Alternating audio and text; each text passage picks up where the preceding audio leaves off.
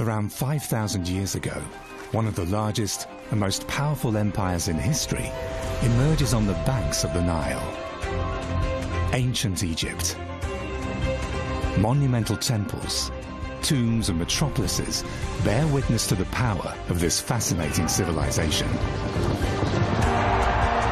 Yet Egyptian culture is also considered strange and mysterious to this day. International researchers explain the world of the godlike pharaohs and the everyday life of their subjects. The Egyptian empire endured for 3,000 years. What is the secret of success of this advanced civilization on the Nile?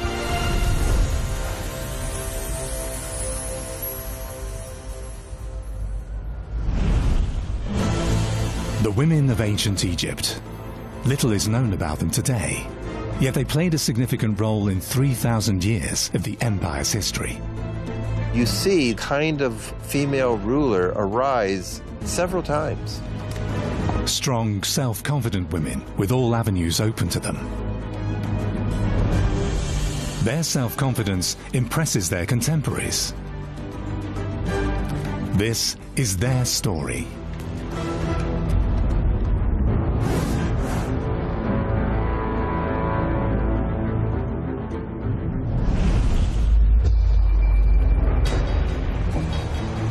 Ancient Egypt. To many, it's the success story of powerful men. Women usually appear only in marginal roles.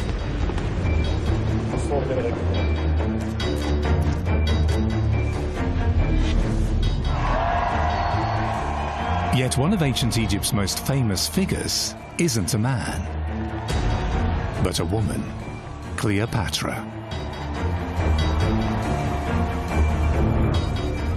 Not just in the palace, but throughout the empire, women hold high positions in the social hierarchy. Ancient Egypt played a pioneering role in matters of equality. We know that women could definitely make their own decisions. Cleopatra VII was the last ruler of Egypt, yet she had female predecessors. Nefertiti and her mother-in-law Tia rule alongside their husbands. She was not content with this state of things. Queen Hatshepsut. She became one of the most powerful figures on the throne. About 300 years before her, Nofru Sobek reigns over Egypt as the first female autocrat. Yet she too had predecessors, like Merneith. Merneith is queen around 2900 BC. When her husband dies, she has to take over the regency for her underage son. In doing so, she secures the pharaonic throne for him. He must have been very thankful for that because he builds for her a magnificent tomb uh, near the tomb of the other rulers of that time in Abydos. For women in general, Merneith is one of the first ladies in ancient Egypt to rule the country. About 500 kilometers south of today's Cairo lies Abydos, burial place of the pharaohs from early dynastic times. Here in the year 1900, Egyptologists discover an impressive tomb complex.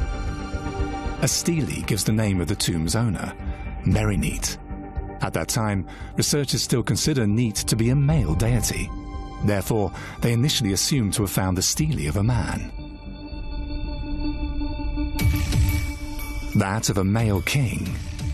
For the size of the complex is in no way inferior to tombs of other kings. In the center of the complex is a room with a wooden shrine. Around this burial chamber are grouped eight storerooms, which in turn are surrounded by 41 secondary tombs. The Queen obviously did not go alone to the realm of the dead.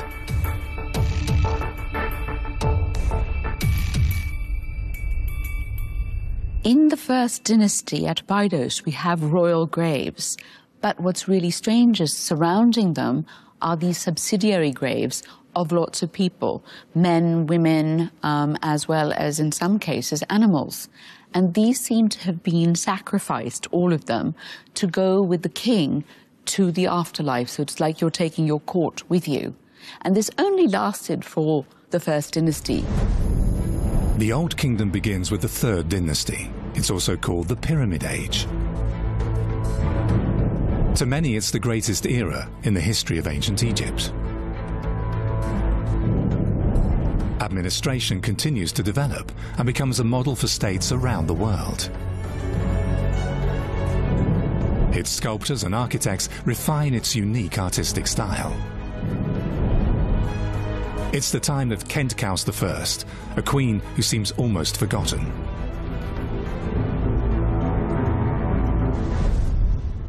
A world-famous site, the three pyramids of Giza.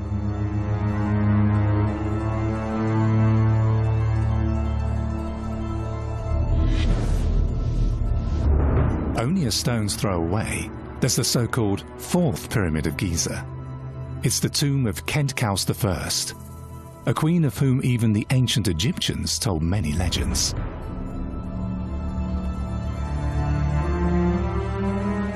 No legend, however, is a relief in front of her tomb. It shows Khentkaus with a Nemes headcloth and a ceremonial beard, the insignia of a king. So did she in fact rule over Egypt as king? Khentkaus has a text on her tomb. It's a pyramidal tomb, it's a huge tomb.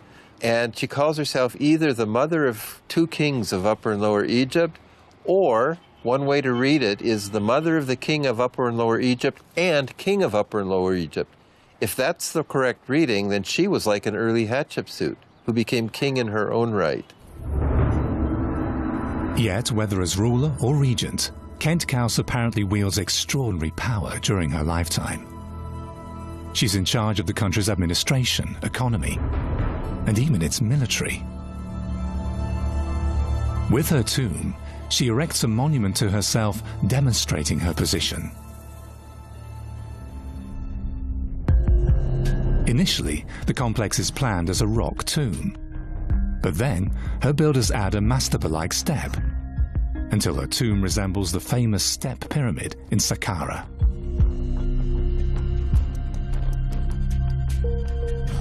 And as with other royal tombs, a ship is buried next to the pyramid.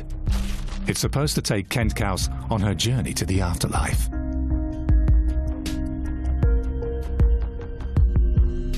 The monumental tomb is meant to ensure eternal remembrance for its builder. Priests who live in houses right next to the tomb are to keep her memory alive. Even as a royal mother, Khentkaus enjoys a prominent position. The mothers of divine heirs to the throne are considered to guarantee peace and stability, not least because they can take over the regency for their minor sons if need be. Queens are closely associated with the sky goddess Hathor.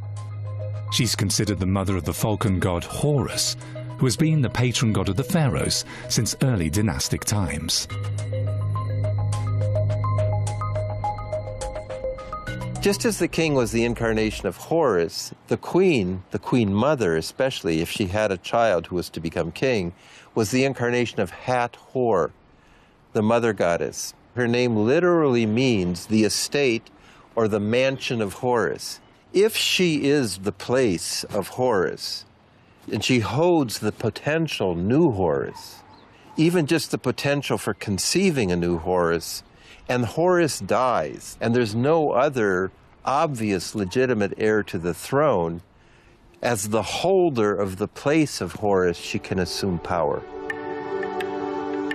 Statues of royal mothers show their potential. Some are clearly modelled on the goddess Hathor. On their laps, they hold the future heirs to the throne.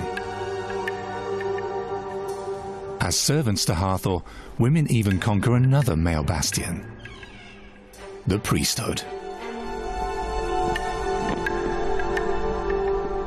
From the 5th dynasty onwards, the number of Hathor priestesses rises significantly. One of them is Hetepet. She bears the sonorous titles Priestess of Hathor, she close to the king, and she who owns land. In 2017, her burial chamber is rediscovered. Its wall paintings show everyday scenes from her life. Represented more than life size, Hetepet sits on an elegant seat and receives precious gifts. This kind of oversized representation was a definite statement. Usually it was reserved for the men of the elite who could afford to have a tomb built and decorated, as all this was, of course, very expensive. It was a clear demonstration of power and status, not least towards the other priests. Gradually, Hathor merges with Isis, the goddess of birth and rebirth. Isis takes over more and more of Hathor's functions, even her position as mother of Horus. Isis becomes the most famous deity of ancient Egypt and even beyond its borders. She'll be worshipped throughout the later Roman Empire. Isis is a goddess who has many facets and appealed to many people because she wasn't only considered responsible for this world, but for the afterlife too. Adoration for her became common across all strata of Roman society. As far away as the Roman provincial capital of Mainz, Germany, believers erected shrines to the goddess. There was a special rite practiced here for a certain time. People would inscribe lead tablets with wishes and curses. They're actually quite marvelous to read. One example calls for someone to die little by little. Finally, the eyes should also die and everyone should watch. So it's quite brutal. Or people would fabricate dolls in proper voodoo manner, with needles stuck in the head and the body. Yet Isis is most popular because of her gentle side. As the caring mother of God, she becomes an icon. It's a representation that also finds its way into Christianity. Like with Mary, the mother of God, holding the baby Jesus in her arms.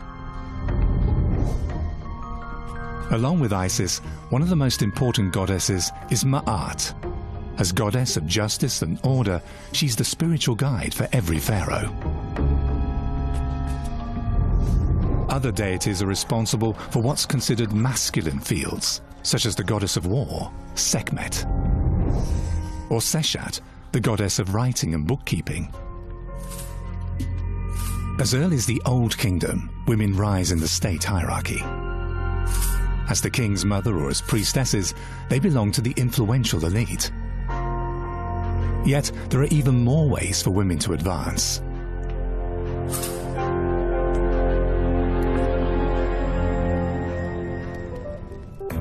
Some upper-class women are given high offices. In the 6th dynasty, a woman named Nebet is appointed vizier, the second highest office in the empire.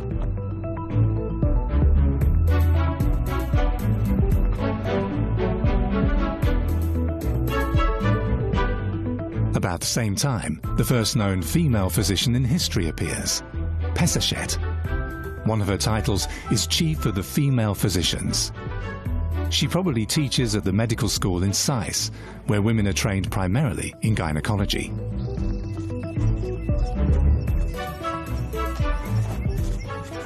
A successful career was by no means limited to women of the high society. Those from lower classes could also make a career. It was common in those days for women of the elite to have an all-female staff of servants.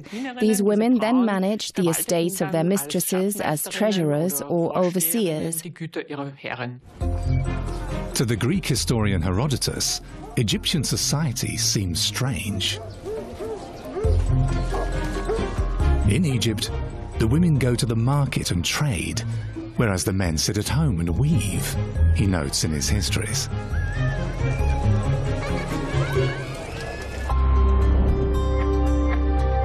Paintings prove that women did indeed have their own stalls in the markets.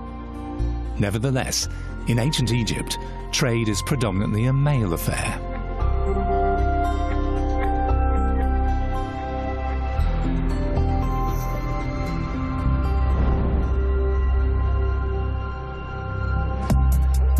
Yet a good number of occupations long considered typically male are also practiced by women. They brew beer or even run their own ships. More than 4,200 years ago.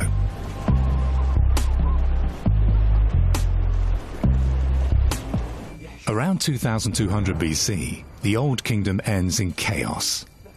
At least, that's what Herodotus relates almost 2,000 years later, so our information is not first-hand. Like that of the story of Nitocris. When her father, the pharaoh, is assassinated, Nitocris invites the perpetrators to a banquet in a specially built underground hall.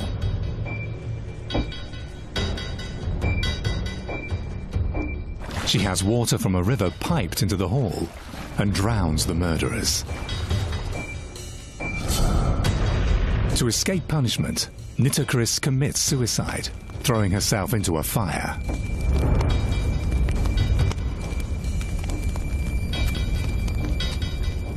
Nitocris is still a mystery for archaeologists, um, but uh, she has inspired uh, a lot of uh, artists, uh, a lot of um, uh, writers.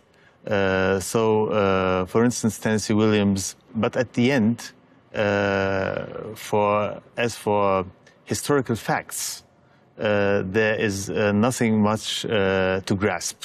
But the idea of the intrigue surrounding uh, Nitocris gives her this ambiance. In the wake of her death, the Egyptian state disintegrates. It's the beginning of the so-called First Intermediate Period. New centers of power emerge. Heracleopolis in the north. And in the south, there is Thebes. From here, King Mentuhotep II succeeds in conquering the north and thus reunifies the Egyptian empire. The first intermediate period is followed by the Middle Kingdom, a new period of prosperity for Egypt. It's the time of Nofru Sobek, the first female autocrat on the Egyptian throne on record. For three years, 10 months and 24 days, she reigns alone as queen. Internal and external relations are stable under her leadership. Even Nubia in the south is firmly in Egyptian hands. The reasons for Nofru accession to the throne were not too glamorous. As a matter of fact, she was a stopgap. In the absence of male heirs, one simply resorted to a female family member, a practice that we know from European ruling families as well. Nofru Sobek differed from her predecessors such as Khentkaus or Merneith because she legitimized herself by her own right, not as regent for a minor son. The royal titles she bore testifies to this. She is also mentioned in the king lists of Karnak and Saqqara. And as that had not been the case before, she became a model for later queens like Hatshepsut or Tausret. Alas, Nofru Sobek fails to secure the succession. Leaving no male heir, a dispute over her throne ensues. Direct succession ensures peace and stability in the empire. Thus, the pressure to produce offspring is high, even in the lower classes, since children guarantee that the parents will be remembered. That's why childbearing is the most important task of women in Egypt, too. This may sound patriarchal, yet unlike in many other cultures, the birth of a girl is considered a blessing. The birth of a girl was always a source of joy and in no way to be seen negatively. If you look at Egyptian history as a whole, numerous princesses play a special role next to princes. And uh, thanks to this, we see, albeit rarely, female pharaohs in ancient Egypt. With the onset of labour, the expectant mother is taken to what is called a postpartum bower. It's set up on the roof or in the garden of the house. When giving birth, the mother uses a birthing chair or bricks to support her during delivery.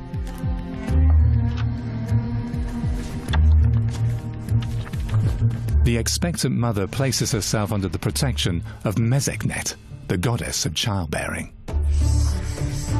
Men have to wait outside. Bringing children into the world is the business of women. On the day of birth, friends and relatives call with gifts. After birth, it's mainly the mother who takes care of the child. To remain mobile, she wraps the baby in a sling. When the child gets older, the mother carries it on her hip. Those who can afford it hire a wet nurse for breastfeeding. These women are cherished by their nurturing children and often shown close to them.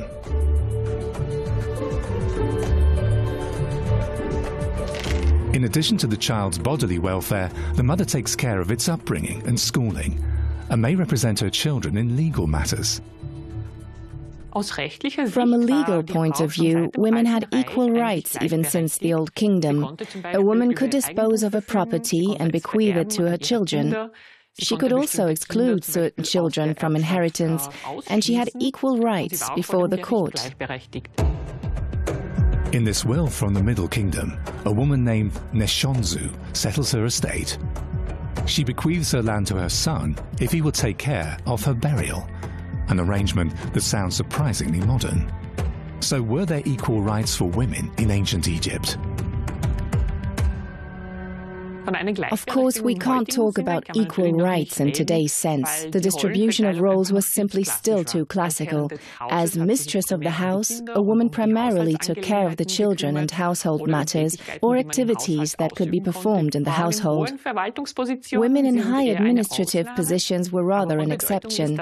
However, these exceptions distinguish Egypt from ancient Rome or Greece. As Nofru does not give birth to an heir, her death triggers the second intermediate intermediate period, which lasts almost 250 years. A period of political instability in which the empire once again breaks up into several small dominions. Around 1648 BC, the Hyksos, a people from the Near East, succeed in establishing their own dynasty in northern Egypt. For the first time, parts of Egypt are under foreign rule. With the conquest of the north by the Hyksos, the concept of rule enters a real crisis. One of the pharaoh's most important tasks is to defeat his enemies. Alas, he is still a child. His mother must keep order in his place. Queen Ahhotep I takes charge, of the military as well. In her tomb, there are ceremonial axes, daggers, and even the so-called Gold of Honor, an ancient Egyptian order that's bestowed only on persons of exceptional merit. Ahhotep reigns at the end of the second intermediate period. Political struggles and unrest shake the country. In the north, after about 100 years, the foreign Hyksos still rule. In this difficult time, Ahhotep demonstrates true leadership. For many years, she keeps the Hyksos at bay until her son Ahmose is old enough to ascend the throne. Ahhotep can really be called the unifier of Egypt. She comes at a very difficult time. Her husband, Seqenenre, is killed fighting the Hyksos, uh, and she has uh, to become uh, the ruler uh, in the place of uh, her minor son, Ahmose I. At the time, where uh, there is a lot of uh, political uh, struggle and disorder in Egypt, she is able to really safely take the rule and hand it over to her son Ahmose. When Ahmose ascends the throne, he succeeds in completing his mother's work. He drives the Hyksos out of Egypt for good. In gratitude, he honors his mother, Ahhotep, not just with a golden medal. On a memorial stone, he is erected at the eighth pylon in Karnak. He praises her importance for Egypt. Praise the mistress of the land who guides the people, the king's wife and king's mother, the glorious one. She gathered the army, protected and united Egypt. The queen Ahhotep Long live she. Ahhotep's son Ahmose becomes first king of the new kingdom. arguably the most glorious era in ancient Egypt, he erects the last Egyptian pyramid. From then on, underground tombs are built. Near the Valley of the Kings is the funerary temple of Ahmose's descendant Hatshepsut. Built by the most powerful and successful female pharaoh on the Egyptian throne. Hatshepsut's mortuary temple is one of the most beautiful and impressive structures left to us by the ancient Egyptians.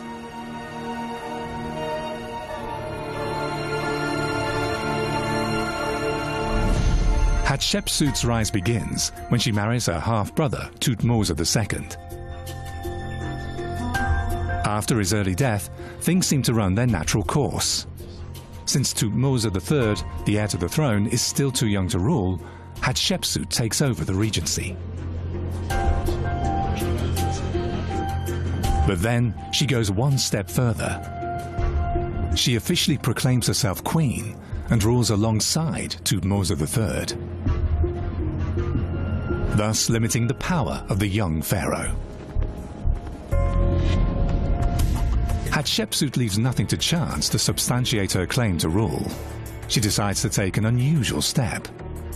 Although she continues to use female epithets like Daughter of Ra or Lady of the Two Lands, she lets herself be portrayed more and more as a man, even with a royal ceremonial beard.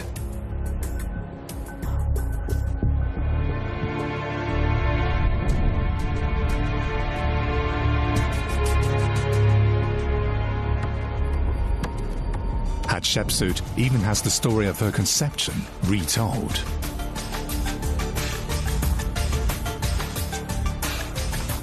On a relief in her mortuary temple, her version is carved in stone. According to it, the sun god Amen united with her mother to conceive her.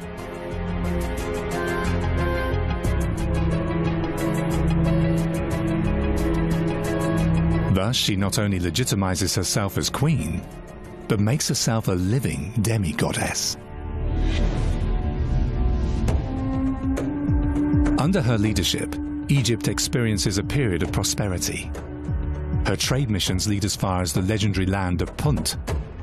They bring back wealth and rare luxury goods.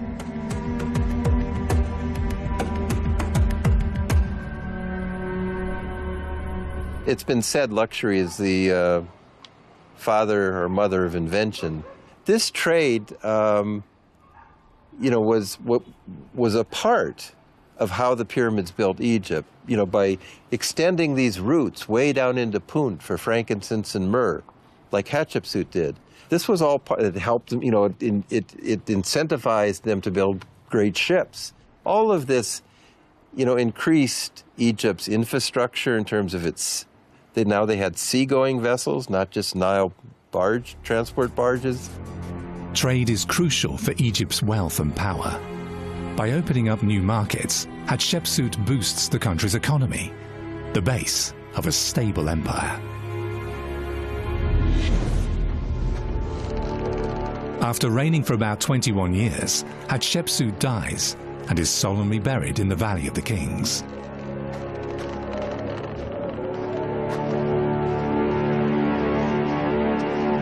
Following her death, however, her memory is systematically destroyed. Hatshepsut's stepson, Thutmose III, was long regarded as the one behind the annihilation of her pictorial representations. However, recent research dates the destruction into later times. Whoever it was, he did not succeed in erasing Hatshepsut's memory. With Hatshepsut begins the glorious era of the New Kingdom. Her successor, Thutmose III, becomes a great warlord. Under him, Egypt reaches the greatest expansion of its history. Amenhotep III, however, is remembered primarily as a builder. He has numerous sanctuaries built. The Memnon Colossi near the temple of Hatshepsut are part of his mortuary temple. Yet beside him stands a powerful woman, his great royal wife, Tiya.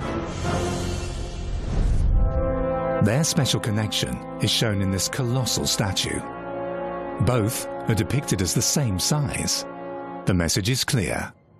This woman is not a subordinate, she is a partner. Officially, Tiye is merely Amenhotep's wife, yet for all practical purposes, she's his co-ruler. Together, they determine the fate of the empire on the Nile. When Amenhotep III declares himself a god, Tiye appears as his female counterpart at his side. Tiye is one of the important queens of the New Kingdom. This can be derived from the frequency of her appearance in effigies, from large statues down to the smallest jewelry. No queen before her is depicted as often as she is and she's given a temple dedicated expressly to her, which is another honor bestowed on no queen before her. Her officials have large tombs built in her neighborhood, and they obviously have the resources to do that. Resources that were supplied by the queen. She also appears in the diplomatic correspondence of the time. Foreign rulers writing to the royal court at Amarna call the queen as a witness to certain events. So she must have had adequate knowledge about the political actualities of her time. Tiye and Amenhotep have at least six children together, including Akhenaten, who goes down in Egyptian history as the heretic king. His wife Nefertiti becomes even more famous. Her immaculate bust turns her into an icon.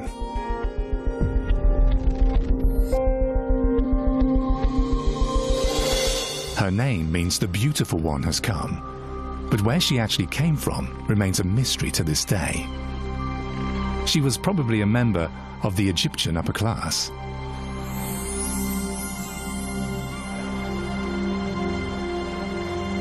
After his accession to power, Akhenaten fundamentally restructures the Egyptian empire. He disempowers the influential priests of the imperial god Amun. The new sole god is Aten, the sun disk.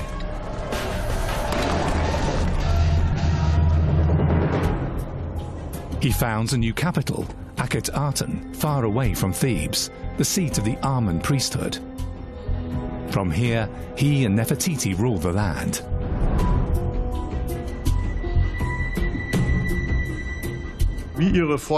Like her predecessor, Queen Tiye, Nefertiti regularly appears together with her husband. Akhenaten and Nefertiti appear almost as inseparable. What's more, like Queen Tiye, Nefertiti is shown in scenes that are unusual for queens, such as the slaying of enemies.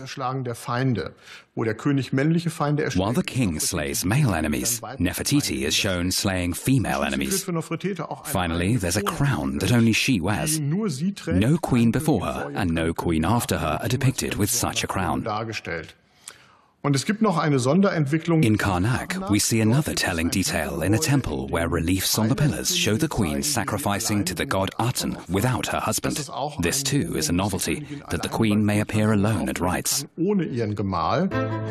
Together, the couple revolutionizes art. The so-called Amarna style shows the royal family in their private surroundings for the very first time. They stage themselves as a kind of holy family. A counter design to the traditional group representation of the Egyptian gods.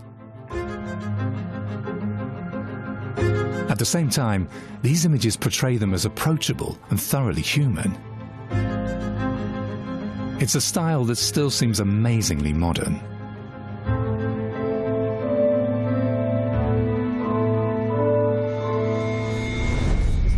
Nefertiti's end is as mysterious as her origin, she was long believed to have died in Akhenaten's 12th or 14th year of reign, or even to have been disowned by her husband. But then in 2012, archaeologists discover a crucial clue. In a quarry, they find an inscription from Akhenaten's 16th year of reign. It addresses Nefertiti as the great royal wife. Thus it's clear that she was alive at least until shortly before Akhenaten's death. However, this doesn't explain Nefertiti's mysterious disappearance from history and has led to much speculation.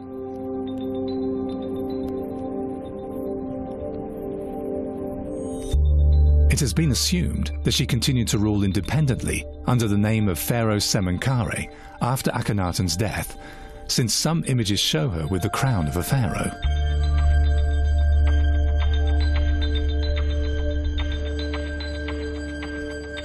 About her end, nothing is known.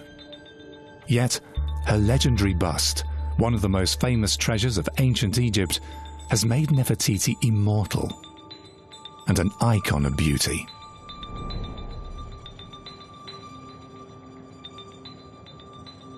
Beauty was highly important in ancient Egypt. However, it didn't just matter how one looked. A well groomed appearance brought order to a person's natural state, and that's why it was important for women as well as for men. One of the most famous beauty features is the eyeliner, so typical for the ancient Egyptians.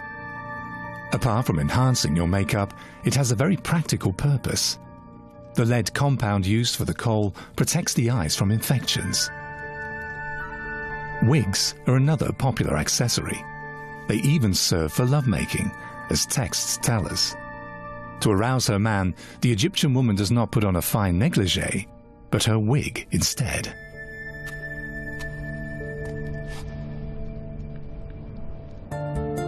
The importance of beauty is also shown by numerous funerary goods related to beauty care. Such as ointment vessels, perfume bottles, combs, or precious mirrors.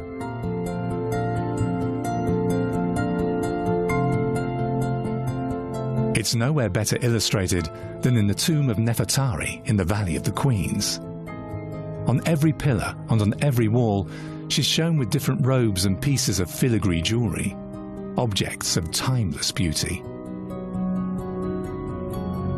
And timelessness is an important asset for the ancient Egyptians. In politics, too. Akhenaten's successor Tutankhamun restores the rule of the old gods. Eleven pharaohs follow under the name of Ramses. The most famous of them is Ramses II. Under his reign, the biblical exodus from Egypt is said to have taken place. His numerous temples and colossal statues make him famous.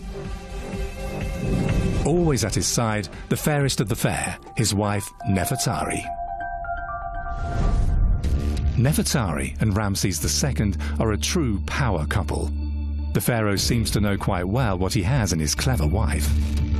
Even if Nefertari does not rule as a pharaoh like Hatshepsut, she commands extraordinary powers and great influence.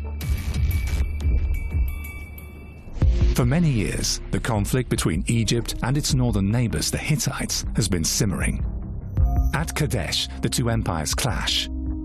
For Ramses, the battle ends in a lucky draw. The Hittites are under pressure from the growing Assyrian Empire and seek peace with Egypt.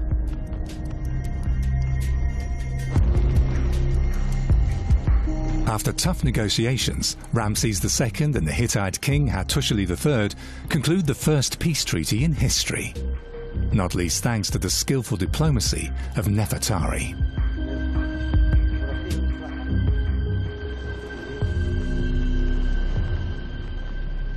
Nefertari must uh, not only have been uh, a beautiful woman, but also a very intelligent woman. And uh, we have clear evidence that she uh, played a role in the negotiations for the peace treaty with uh, the Hittites as she was in charge of the correspondence with uh, the Hittite queen uh, Puduhepa. So Nefertari played a crucial role in achieving the first peace treaty ever. A copy of it is hanging now in the building of the United Nations in New York. Being able to read and write hieroglyphics is far from being a commonplace skill in ancient Egypt. Only a few Egyptians mastered this art. In her tomb, Nefertari has herself depicted with a writing tablet before Thoth, the god of scribes and science. The message is unmistakable. She is a scribe.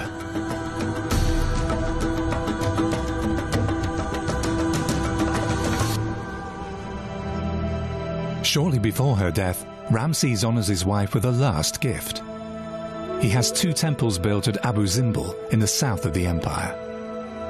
One of them is dedicated to the goddess Hathor and to his beloved Nefertari.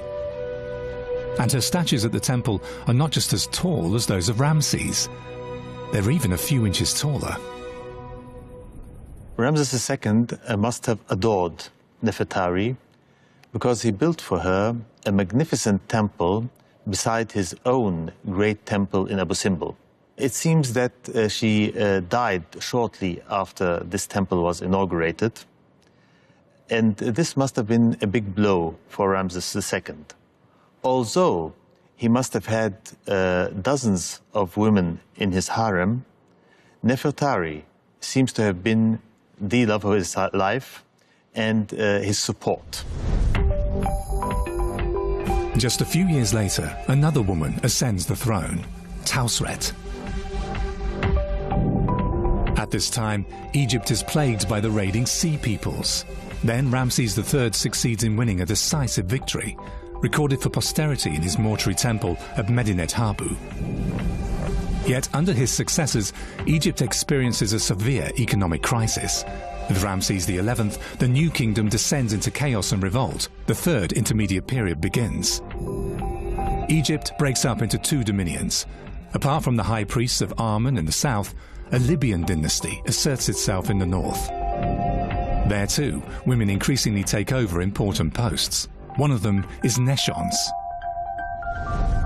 In the 19th century, locals discover an extraordinary necropolis near the temple of Hatshepsut.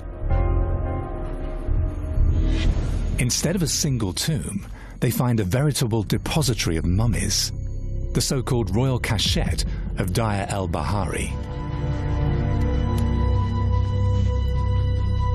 More than 40 sarcophagi are stored here to protect them from tomb raiders.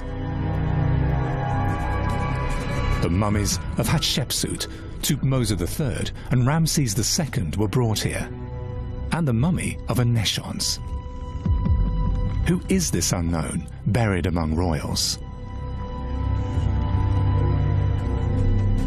As Stele reveals, Neskhons bore titles usually reserved for men Viceroy of Kush, Overseer of the Foreigners, and Priestess of Khnum. This would have made her one of the most powerful women of her time. Not surprisingly, her funerary goods are of high quality.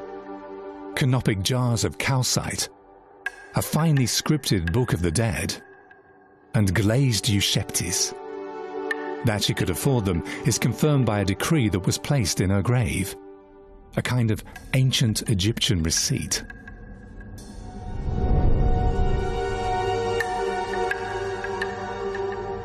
Yet Neskhons is not the only woman holding extraordinary power in the third intermediate period.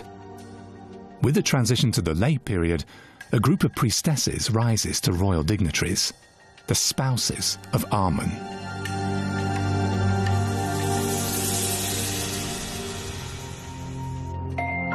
1200 years earlier, Amen becomes king of all gods. The center of his cult is the temple complex at Karnak, which continues to grow over the centuries. Karnak develops into the most important cult site and the leading economic center of Egypt. Karnak was like the Vatican of ancient Egypt it's the sacred center.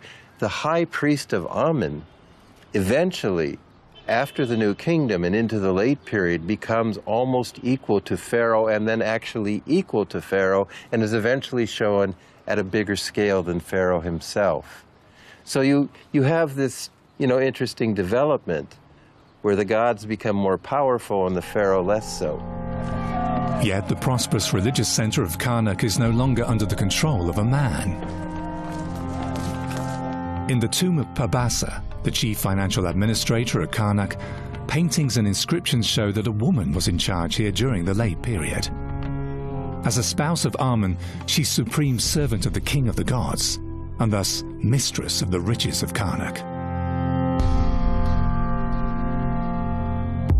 The spouses of Amun are priestesses. They're considered wives of the highest god. Their task is to take care of the earthly needs of Amen According to ancient Egyptian belief, he regularly descends from heaven to the temple. If he finds everything to his satisfaction, he will protect the land. Notably, during the 25th dynasty, under the rule of the Nubian kings, the spouses of Amun played a crucial role. They were mostly daughters of these kings and would rise to eminence, especially in the Theban Empire. As wives of Amun, they were of crucial importance, not just in religious matters, but also politically. Their power was indeed amazing and can be equated with that of modern religious leaders. Their influence in religion as well as in politics cannot be overestimated. In the late period, Amun's wives are at the zenith of their power. They perform ritual acts previously reserved for the pharaoh, such as the driving of the four calves. They appear in line with Horus and Isis, and thus at eye level with the gods. In the late period, after a succession of Libyan, Nubian, and Assyrian rulers, Egyptians reclaim the pharaoh's throne. Yet the so-called Egyptian restoration remains an episode. In 525 BC, the Persians become overlords of the empire. After the Battle of Issos in 333 BC, Egypt falls to Alexander the Great. The late period ends. Now the Greek Ptolemies rule the empire on the Nile.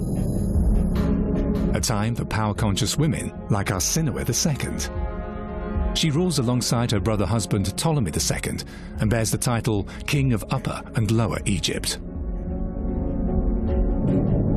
During her reign, the Lighthouse of Alexandria is completed, one of the seven wonders of the ancient world. Yet no ruler will become as famous as Cleopatra VII. Her fate is inextricably linked with the fall of ancient Egypt. Cleopatra is perhaps the most publicized of all pharaohs. To this day, numerous myths persist about her. Yet what's behind the image of the man-devouring femme fatale with a penchant for powerful men?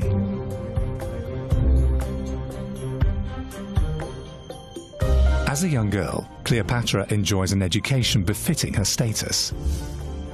She becomes the favorite of her father, who appoints her his successor, to the chagrin of her younger brother Ptolemy. After her father's death, she ascends the throne with her brother. Yet he wants to rule alone and banishes his now 22-year-old sister. Cleopatra, however, does not give up. In the midst of their power struggle, Julius Caesar reaches Egypt. Cleopatra succeeds in winning over the most powerful man of the Roman Empire. And her efforts pay off. She wins the battle for the throne. When Ptolemy XIII perishes while fleeing from Caesar, she finally achieves her goal. Cleopatra is now sole pharaoh.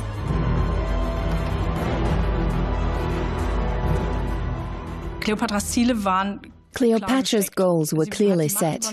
She came to power at a time when Egypt was dependent on Rome. Yet she wanted Egypt to remain an independent empire. The question is, how could both sides get as much as possible for themselves? I think she made the most of her opportunities and thereby helped Egypt to a last renewal of its fame and power. In 44 BC, Caesar is assassinated in Rome. Cleopatra is on her own again and shows the world that she is a capable ruler.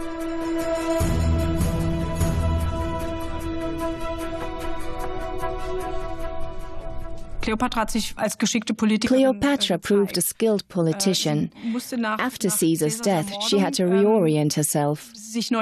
She had to weigh who might benefit her most and how she could keep her position.